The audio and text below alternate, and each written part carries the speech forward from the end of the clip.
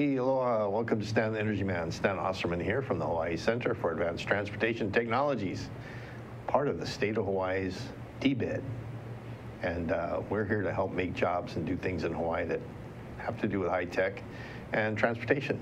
And so we're going to talk a little bit more about transportation today with one of my partners in crime from the State Energy Office, Margaret Larson.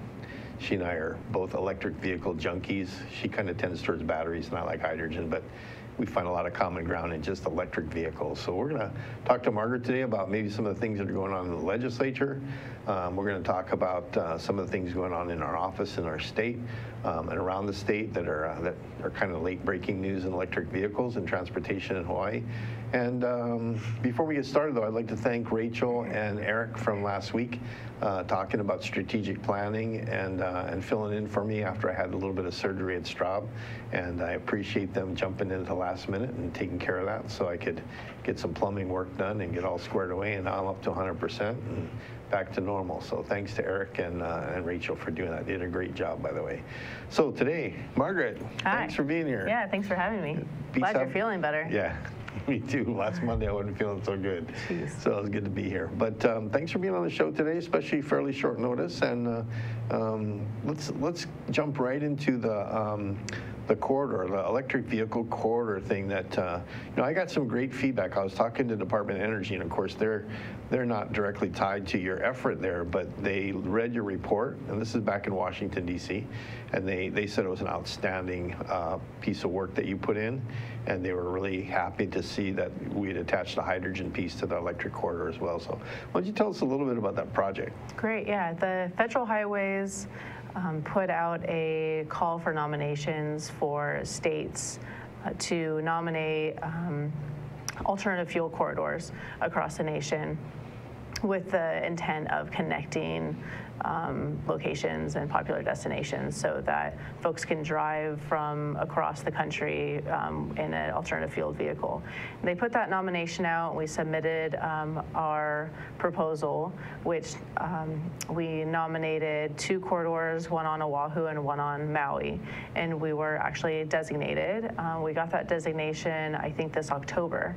Um, and so what we, what is now designated, the one on Oahu, um, because it was through the federal highways, they wanted um, to basically focus on designating federally, uh, federal roads, I guess, Okay. or state roads Like H3, like H1? H3, H1, yeah, exactly. And so that's what we focused on. However, we would, we did put the caveat that our corridor extends for a one-mile buffer on each end, so it can still touch our surface streets or our county roads.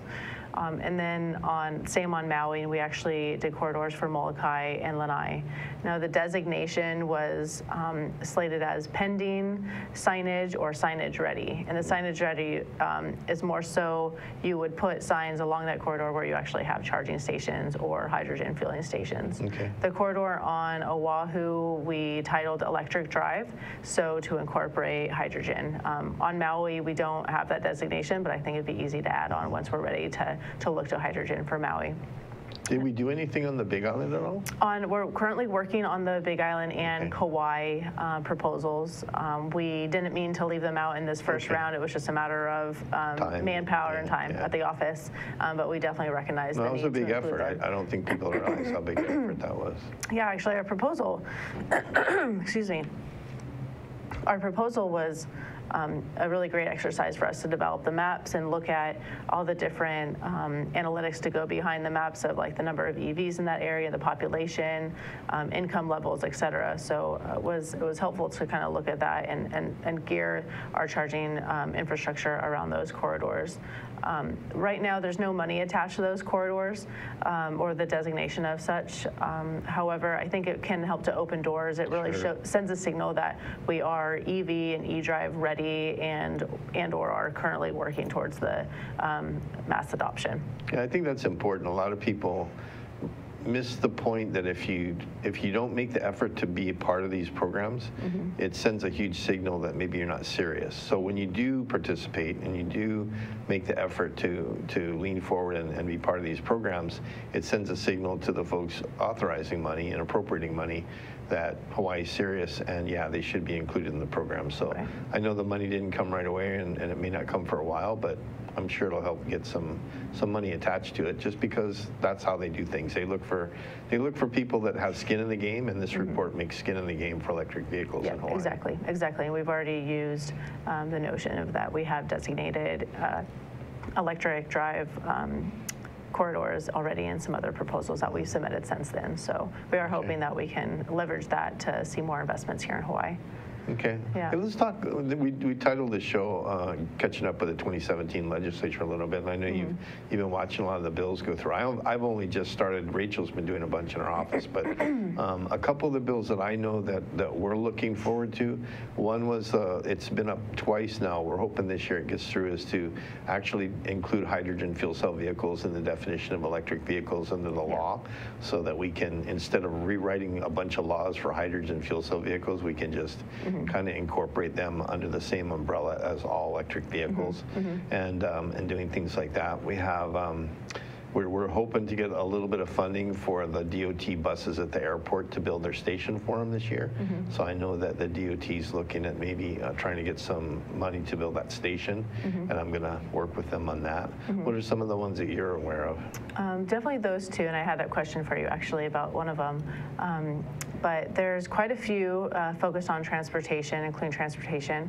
Um, There's a couple focused on looking to set transportation goals, um, ones that look towards 100% by 2045, um, and looking, others that look at mode share goal setting. So the transportation goal topic is, is hot and heavy this session.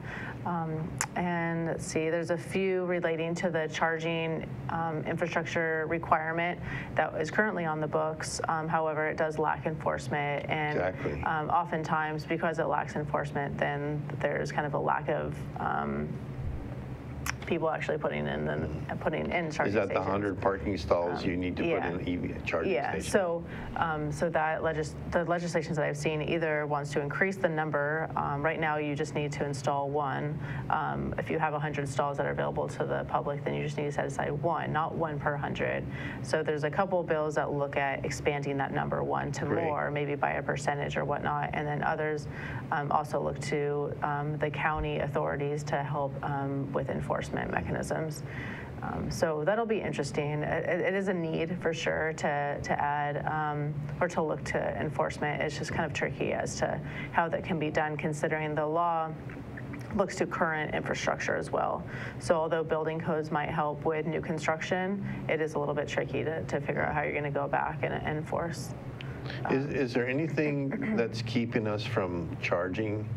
uh, Like, for example, right now, a lot of those, those um, plug-in stations in parking lots are like premium places that are right up near the front. So you're already getting a great parking stall and you're getting free electricity and Yeah. it's a great incentive. Yeah. Are we looking at maybe um, allowing or making it so that you have to pay at least a token amount for the electricity so that, so that people actually also have some skin in the game? Yeah, I mean, the, the law that's currently on the books doesn't require that you offer free charging or free electricity for that. So it just means that you have to put in a charging station, but you don't have to offer free electricity. Okay. So an, a site host, being like, if you're, a, you know, a mom and pop, then you want to put in a charging station because you have 100 stalls, then um, you can install any charging station and it can actually have like a credit card capability Right. where you just scan the card and it's charged up. Um, the other is that when the law first went out, it did specify the charging station or the parking stall needed to be up front, but then there had been sense modifications that basically said wherever the charging station, or the charging station can go anywhere in the parking lot as long as it's not replacing ADA stalls. Okay. So we found that it's actually not always feasible to put the EV charging station right up front near the elevator if your electric panel, or your electric box Mm-hmm. Way is the other way on the other side. And also, it's not so much of having that premium parking right up front that's needed. Um, It's more about just having a charging station. Mm-hmm. Although we would want site hosts to not stick them in the back or, st- or stick them, you know, Right. down by the In the- dumpster where you the- can't find the them. boonies, yeah. Yeah, exactly, exactly. Okay. Yeah, I did have a question though about Sure. the, um, the hydrogen, um, the- the bill wanting to include hydrogen in the definition of electric vehicles so that you can take advantage of the HOV lanes and the free parking. Um, I am friends on Facebook with the Big Island EV Association. And I see their comments come in and out. And um, one of the comments was um, mentioning how that if that bill passed, um, they're concerned about hydrogen vehicles when there's more on the road, hydrogen vehicles taking up EV stalls. How do you think that we can avoid that from happening? Because I know one would Yeah. think like, well, they won't they won't need that charging station, so they're not going to want to park there. But parking's a premium, and they may want to park there. It's already a challenge to even get EVs to park there and not be iced out by. I don't, I don't think that would be hard to deal with because you could easily modify the, the, um, the parking, the county parking regulations Mm-hmm. to say that even though a fuel cell vehicle is an electric vehicle, if it, if you can't plug into the plug-in station, Mm-hmm. you don't use the stall. And so, I mean, right now, none of the hydrogen fuel cell vehicles that are out there use Have a plug. the uh, plug-in part, and it's mostly because they're trying to keep the cost of the vehicles down, so they don't have that option. Uh-huh. Um, It actually, though, uh, like our buses that we do for the Air Force, they actually can plug in as well. Right. So if you're, if you are plug-in capable and you are plugged in, Mm-hmm. okay, that's okay. But right now, none of the commercial cars are. Mm-hmm. And there, it, it should be kind of stipulated that you have all the rights, Mm-hmm. as, and in, a- but in a parking space, you need to be plugged in. Because we, it, we're looking at the same kind of thing too. Mm-hmm. We're also looking at things like, for all electric vehicles, whether hydrogen or um, plug-in, um, there's no gasoline tax, and that's where a lot of the revenues to fix our state highways and roads come in.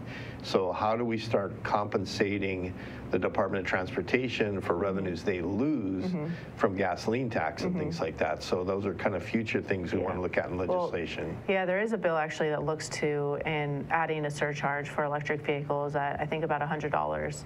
Um, and so we're, we're looking into that. We do um, feel that EVs should be paying their fair share. Everyone should be paying their fair share. Um, however, we don't, we're kind of looking at maybe that surcharge right now could be premature, Yeah. um, given that the Department of Transportation is um, conducting a road user charge study that actually looks at the possibility of um, replacing the gas tax, to my understanding, this may not, um, the replacing the gas tax uh, with a vehicle miles traveled tax. So basically taxing you for however How many miles, yeah, yeah. how much you use the road. Um, so we're hoping that, that through that study, it'll kind of make suggestions for legislation rather than potentially prematurely like adding a surcharge.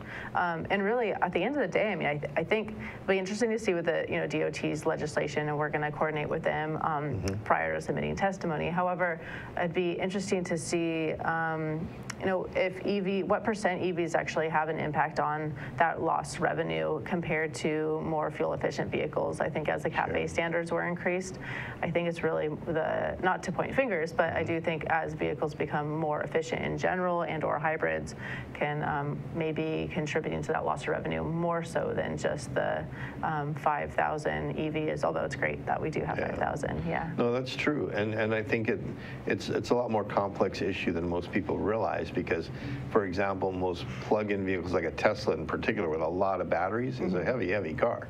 It's not a lightweight car like a Leaf. So True. you know you, you'd have to differentiate by car weight, like and most of the Yeah. weight taxes for the registration Yeah. there now. But looking at the real complex is a heavier car or truck. Right, maybe that's a better It's, way it's tougher it. on the road, so Right. mileage and the weight of the vehicle and have some Yeah. formula that puts Yeah. all of it together in Yeah. there. So it's, it's something that's going to take a good study and a good look at, and to be fair to everybody, Yeah. to make sure that it's done right. But it's something that we know that the DOT's got to look at. They Yeah. just, they got to take it into account. Yeah, it's helpful that it's been introduced this year, just to at least have that, a, a good discussion. And I think it was introduced last year as well. So um, it's definitely a, a, a good topic to discuss, and there's a need for, for that. It's just how, Yeah. how can you do it in a sustainable manner, and, and that's going to fit everyone's Yeah. needs while still helping to further EV adoption. Okay. Well, we're going to take a quick break here and uh, talk about some of the other shows here on Think Tech, and we'll be back in about 60 seconds. Hello, I'm Marianne Sasaki. Welcome to Think Tech Hawaii, where some of the most interesting conversations in Honolulu go on. I have a show on Wednesdays from 1 to 2 called Life in the Law, where we discuss legal issues, politics, governmental topics, and a whole host of issues. I hope you'll join me. Aloha, I'm Carl Campagna, host of Think Tech Hawaii's Movers, Shakers, and Reformers. I hope you join us over the next several weeks as we take a deep dive into biofuels in Hawaii. And explore the alternative fuels supply chain necessary for the local and global transition towards transportation fuel sustainability. Join us as we have good conversations with our farmers, our producers, our conversion technologies, our investors, and our legislators as we try to achieve our transportation sustainability goals. See you soon.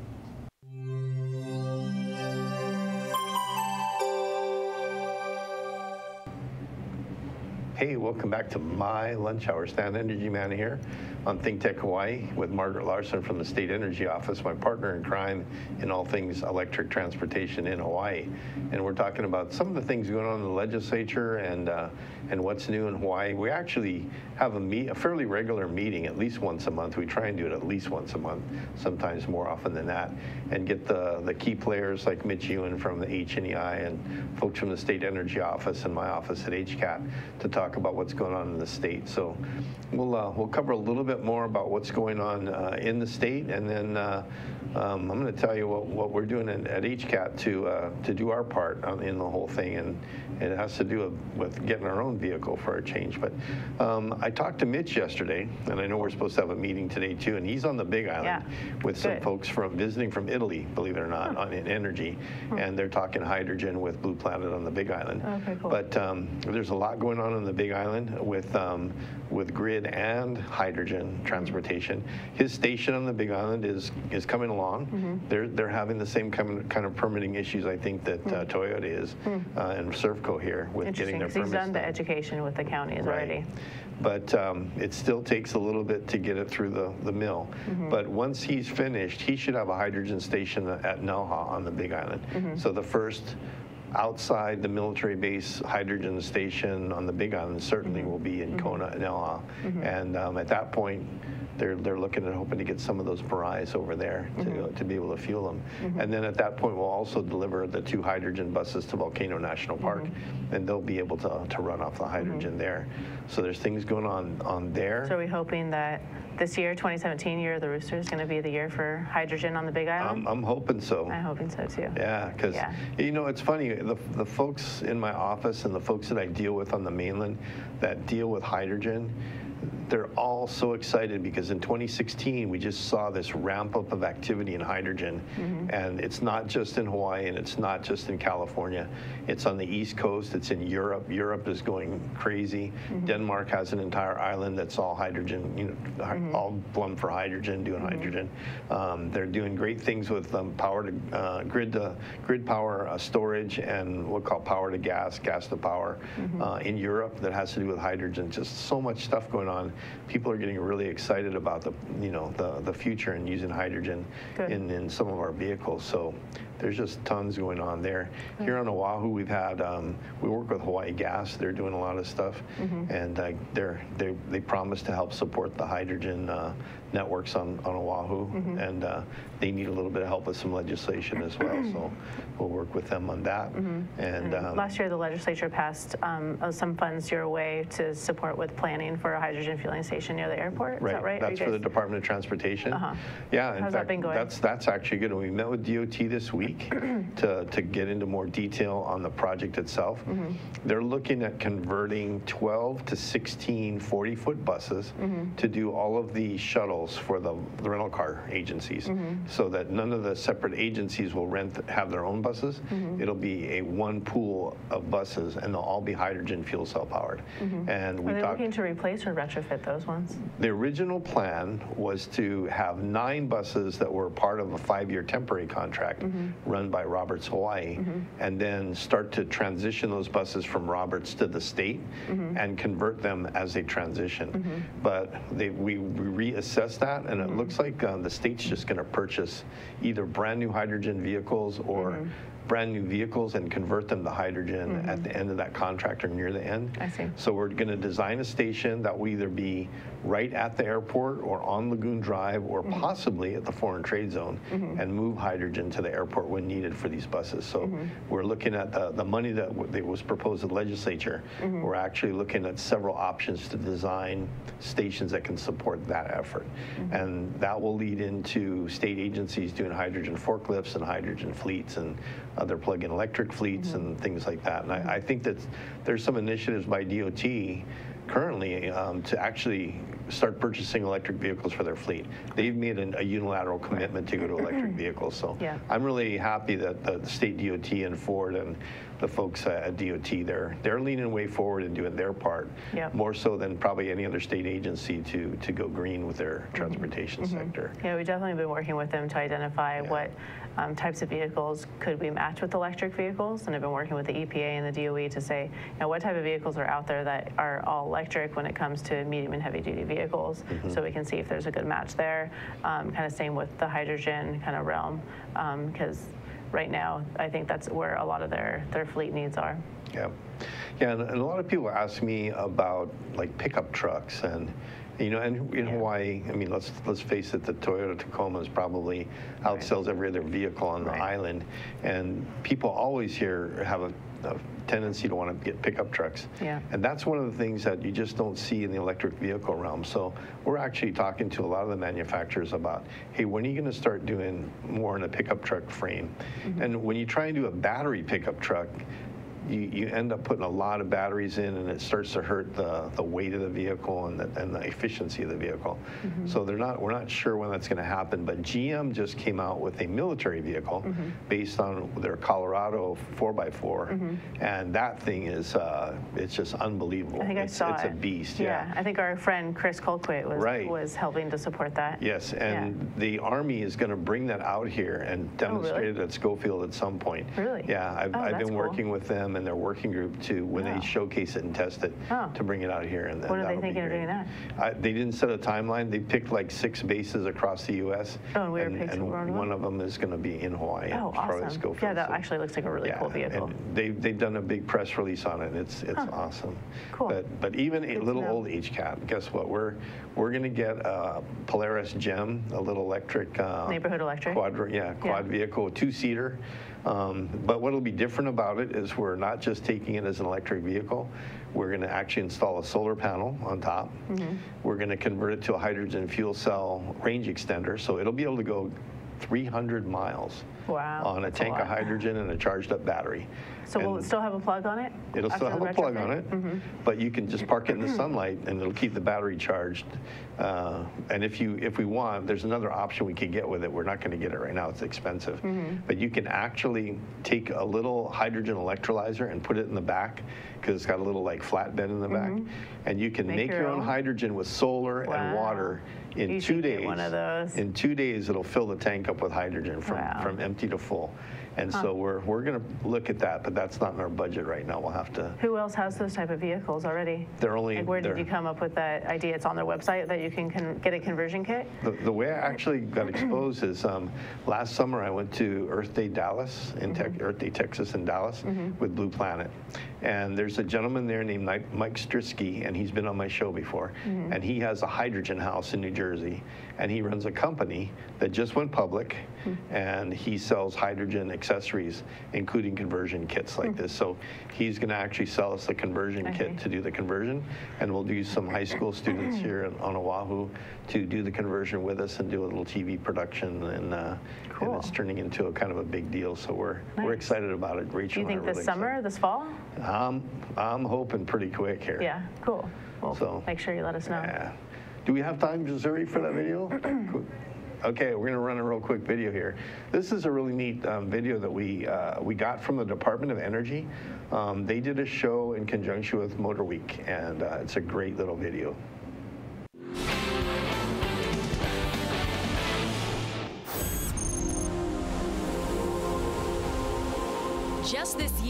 Honda, Hyundai, and Toyota all debuted production-ready hydrogen fuel cell vehicles, although initially they will only be available in limited areas.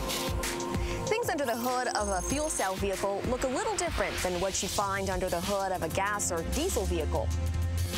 In fact, a fuel cell vehicle actually is an EV, but it makes its own electricity from hydrogen. There's no need to plug it in to recharge. To see just what one drives like, I jump behind the wheel of a Toyota Mirai sedan. Much like a traditional EV, things are very quiet and had me asking, is this thing even on?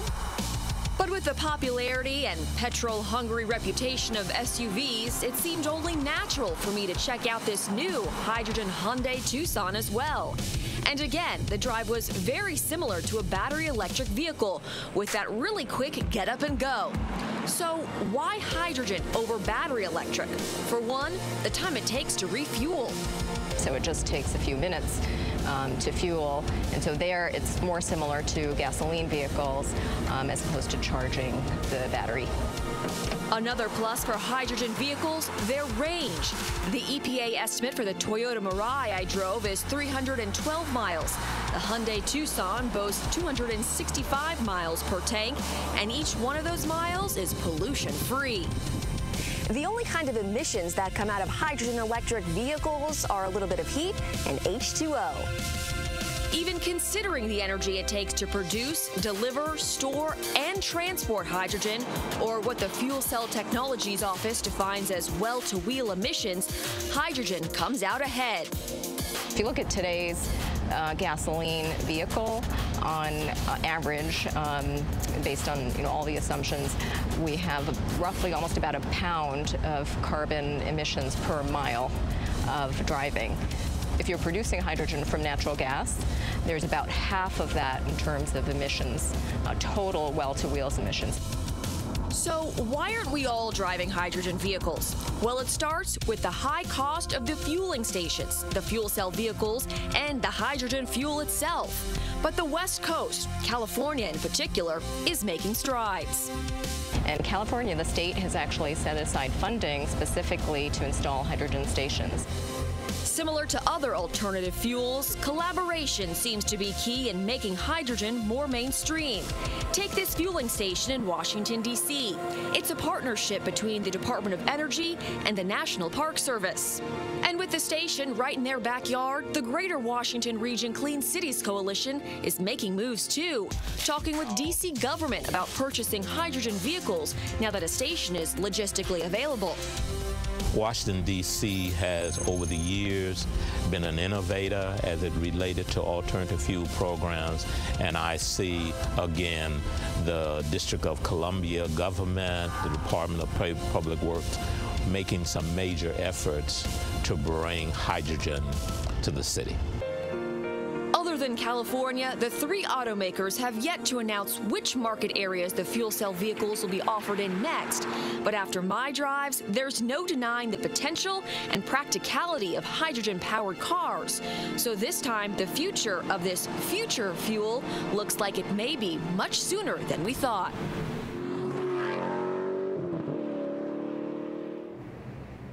He, the Energy Man's had the chance to drive all those vehicles, and they're awesome vehicles.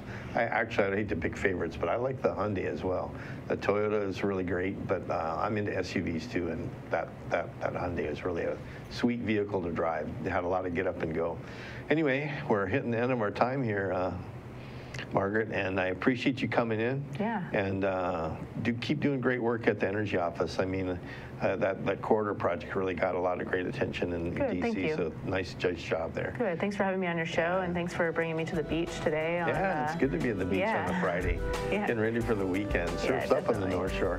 So everybody, thanks for being with us on uh, Stan Energy Man, and we'll see you next Friday.